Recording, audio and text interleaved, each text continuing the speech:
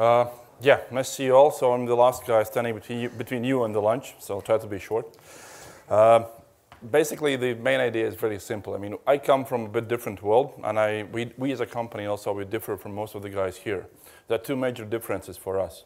One of them is we don't really come from academic background. We actually come from business background and software development and these kind of things. And so I'm, no, I'm not a scientist. Uh, so don't ask me scientific questions. I mean, I'll, I'll, I'll can, you know, tell something which is not really supposed to be said. Uh, and the second one, we come from really physical world. We come from the world of uh, trucks, trains, and things going around. So the problem for us, which we have to solve, is we have to do the full cycle. We have to do the stuff about gathering the data, and we have to do the processing of the data. And the main idea which I want to tell you today is our two stories and how did we get from the one side into the deep learning and why, why are we here at the moment. I'll try to tell two stories. We run out of time, then I'll stick to one only, okay? So, um, the history we had actually was fairly simple. Back in 2010, we were approached by a customer of ours, which was a railroad company, which said, you know, we want to solve a simple problem. We have these trains passing through our, uh, coming into our uh, jurisdiction, basically.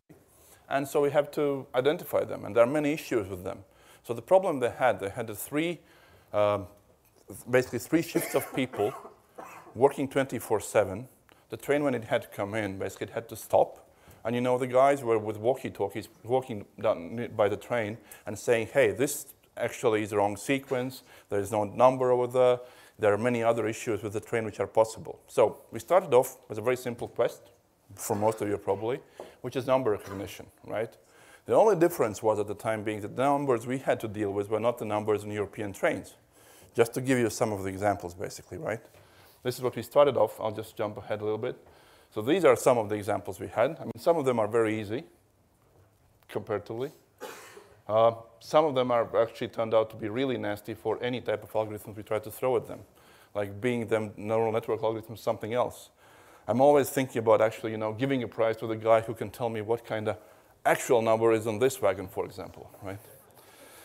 So I always had a feeling, you know, that people were actually, you know, when drawing the numbers, they didn't use any like trap threads on them, and they probably also were drunk or something. So, you know, we had different issues like this. And we had a formal request at the time. We had a formal request of fulfilling actually 95% of recognition, including all this, what you, see, what you just saw over there, okay? So the images we used initially, and this, this also was one of the sources, you know, we always like to talk about failures we, we have had, right? And this is one of the failures we had actually for one and a half years. So one of the failures, I'll just go back a little bit, was based on the fact also that we were also using really bad input. And the bad input was, for example, this one, which is uh, very low resolution cameras, 320 by, 20, by 240 and basically stitching the images together, right? So we got different kind of interesting issues. So all the hardware, whatever else, time, lo losing the frames, and whatever else could happen, basically. So many things over there. So from our perspective, we were basically forced to go into a bit different direction. And from our perspective, we were forced to figure out some better way to do this. And we, so this is how we more or less end up into deep learning, okay?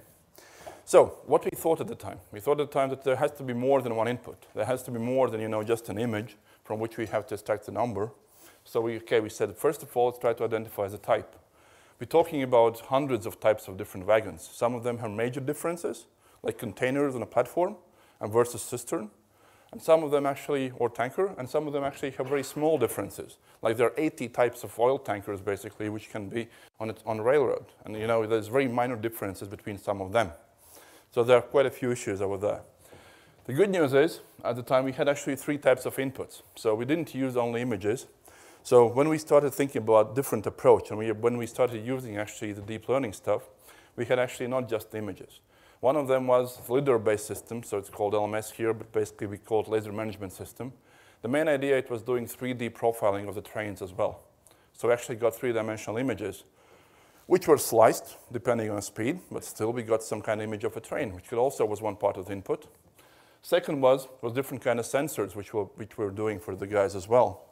Sensors gave us the result of basically giving, giving us the ability to see the length of the train, to see where the axles are versus the speed, so we could actually calculate how long the wagon is.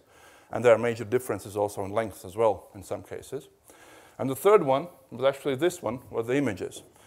So um, basically, we, we combined these three things together, and this is what we got in the end of the day, right? So we got basically result which was more or less expected. But the funny thing for us was actually that it turned out to be much more useful for our customers than we initially thought. When we talked to them and said, hey, you know, this is how we got to the result, they said, yes, but can you do something more for us if you are doing these kind of things? Okay, and then we started talking to them what would be the next things they would be willing to see, right? So, uh, yeah, so this is the neural networks part. So moving ahead, one of the things which we, they wanted to see and which they actually wanted to do to replace the human labor with was basically they wanted to see if there are seals on the train. The seal is a small yellow thing over there, basically, if you, you can see over there. So you have to identify the type of train or wagon, and then based on this, when you have to see if there is actually seal over there. For, for tankers, it's on top. For different kind of wagons, it's on the side. There are different kind of open doors and all the other things. So this is what we had to train our network for, to be able, from the second phase, after identifying the type, it had to be able actually to see if there is a seal, if there is supposed to be a seal on that. And another thing which was over there was which, another job which uh, they were doing, which was actually uh, looking for stuff like, for example, graffiti. Because it turns out graffiti can be a huge problem for railroads because you don't see the numbers, the different kind of markings over there. So they have to mark it. And actually, you know, still the humans had to go there and mark them. So that was another issue. So we had to identify, you know, the normality of the wagon. So first of all, we get the type, and then we feed it into the network, and we see if it actually fits the description of normal wagon. And there can be many differences. There can be issues with the graffiti. There can be issues with uh, dirty wagons. Like if you pour an oil into the wagon, I mean, a lot of stuff, black stuff, which is going around. Some of the wagons are black themselves.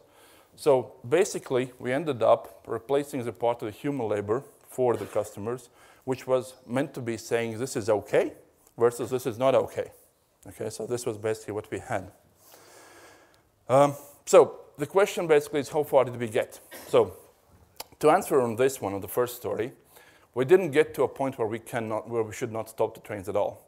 The problem is that are seals, have small numbers on them in some cases, and these unfortunately cannot be read by, because they just can be turned inside out, so they can be on the inside of the train.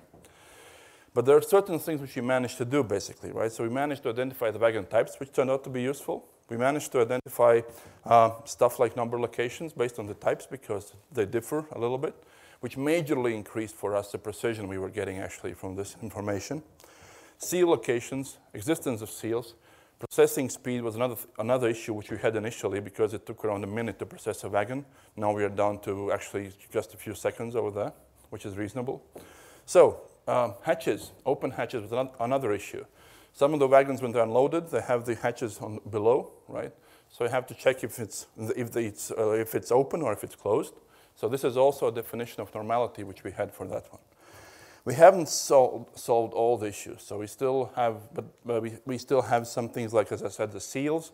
We still have some things, you know, sometimes the guys walking down there, they have a huge hammer and they're hitting on the wagons to see if there is something on the wheel set, right? But anyway, so we have reduced the amount of people, which is another thing, which if you look from the result perspective, from 12 to being on site, for example, per, per, per installation, to three people on site. We have increased the speed of processing from one and a half hour basically to five minutes approximately. And this we could not have done basically without using deep learning, without feeding into the uh, networks information, without training the networks.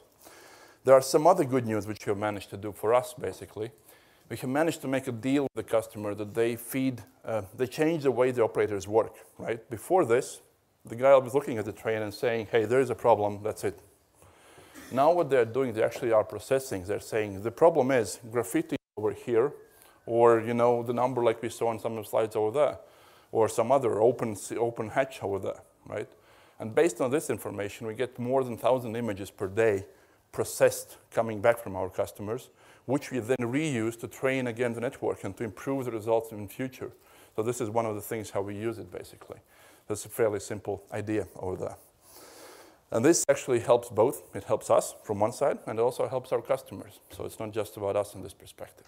Okay.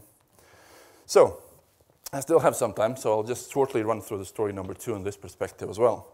So we had a, an idea in the markets where we're working with basically that, uh, you know, we can do we can help with the replacing human labor into images.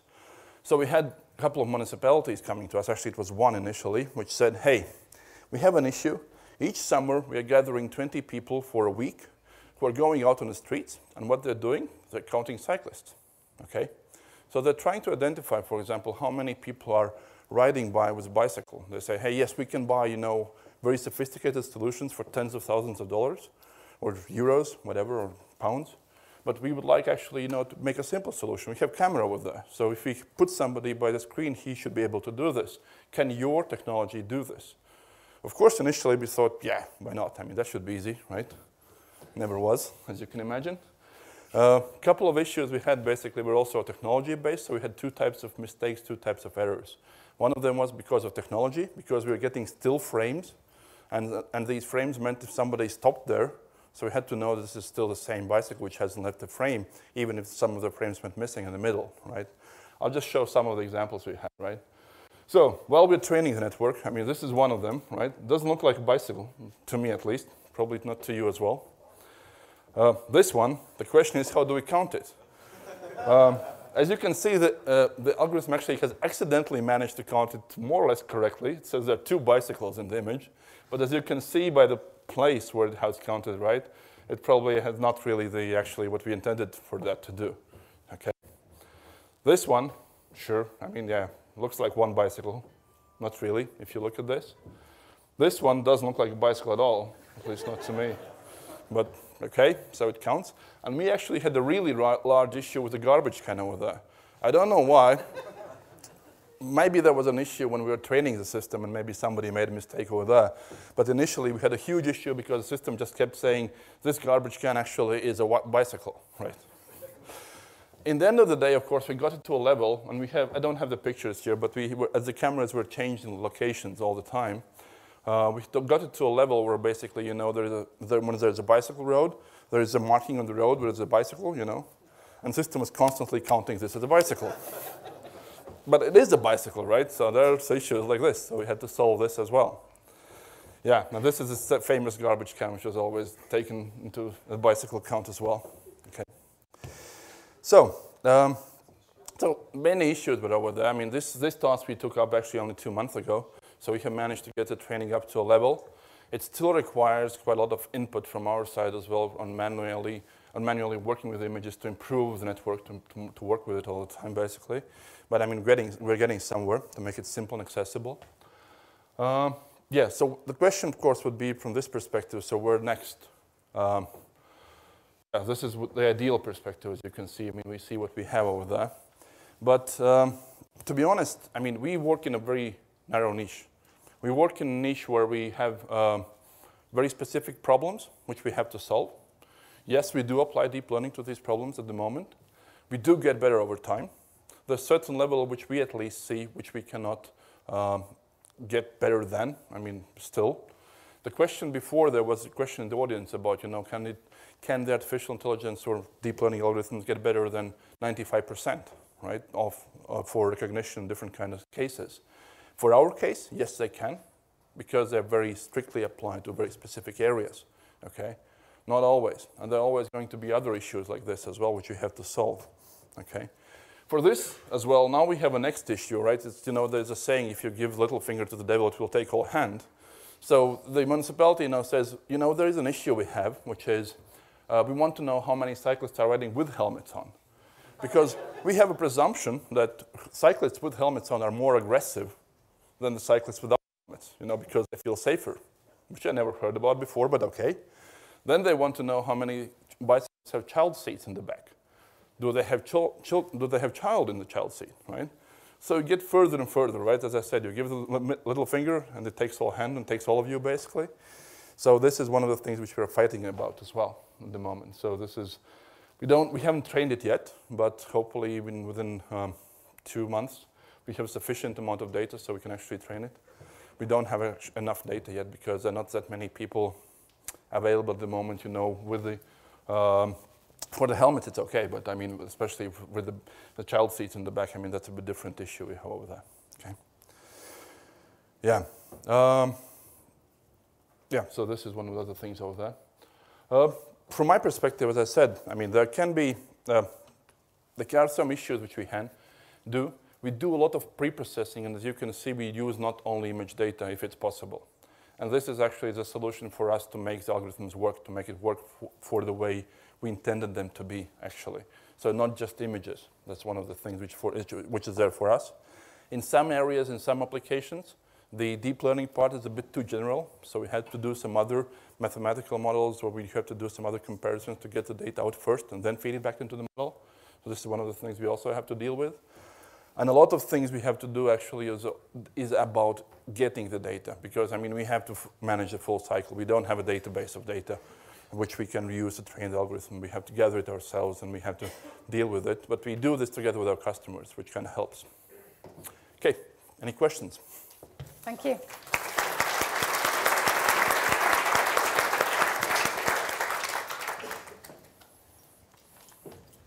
Um, that was a really interesting talk, thanks. Um, you mentioned that in the bicycling example, you started by taking still images. Um, and I thought you were going to say then we switched to uh, you know video and it got a lot better. So uh, what's the status of the video? Yeah, uh, the problem is that with the infrastructure we have at the moment, we can't really switch to a video. We are investigating this at the moment. We are trying to build a prototype based on Raspberry Pi or whatever else, which would be able to do the stuff for us, but then we have to do the, but it's not powerful enough for us to get the processing done in, in, in, the amount of time we allocate for this. So we are cheating a little bit at the moment with the images. We try to see if actually we can do pre-processing of video locally and then following, tracking the object through the image. So where does it move? and then only based on this information feed it back into the, uh, into the system about the movement and other things. So it's a, now it's a bit of combination. Now we have a short-term video where we do tracking, and then from the tracking we just extract one image, and then we feed that back into the system to do the recognition. You have a, real, you have a real-time problem? We have actually, yeah, we have a processing problem because the, the customers want this to be very cheap and very easy to use and maintain on site, right? If we would have a connection over there, which we don't really have, which is jumping between 3G and LTE. LTE is nice, but 3G is like quite often it, jump, it drops down. So we have to some, have something on site to do the processing. And that has to be really cheap because there's already camera they paid for, so they don't, they don't want to add anything very expensive over there. So this is the issue. You know, we have to balance between those two things. Thanks.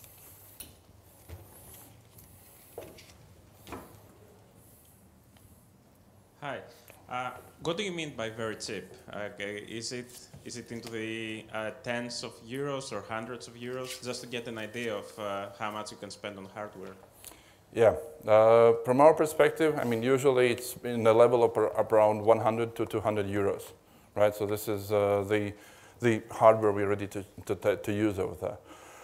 We have different kind of examples. We have played with NVIDIA Jetson, right, as one of the options. But then we have some issues as we need for some operations, we need CPU and not just GPU. CPU is a bit not powerful enough for us. So there was, I talked to the guys from NVIDIA and there's a promise that it's going to be more powerful Jetson in December. So we're going to test that one.